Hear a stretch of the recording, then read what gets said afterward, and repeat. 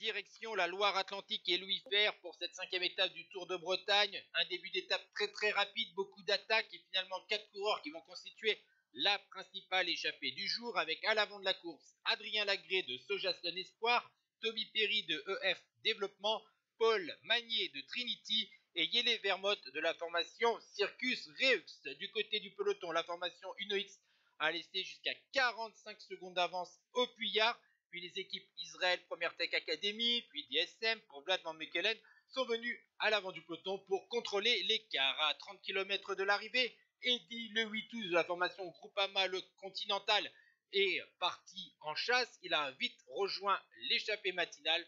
Malheureusement pour les 5 fuyards, ils vont être avalés à environ 4 km de l'arrivée. Dans ce final très rapide, il va y avoir une chute collective à environ 1 km 500 de l'arrivée. On va donc assister à un sprint en petit comité avec un peloton d'une vingtaine de coureurs L'équipe DSM a fait un gros travail pour Vlad Van mais c'est surtout l'équipe Alpecin Développement avec un énorme boulot de Simon de Herz et qui va permettre à Jakub Maresco de s'imposer de peu devant son équipier. La troisième place revient au Britannique Noah Hobbs de la formation Groupama FDJ Conti. Quatrième, Sébastien Larsen. Cinquième, Vlad Van Mekelen. Ciao tout le monde.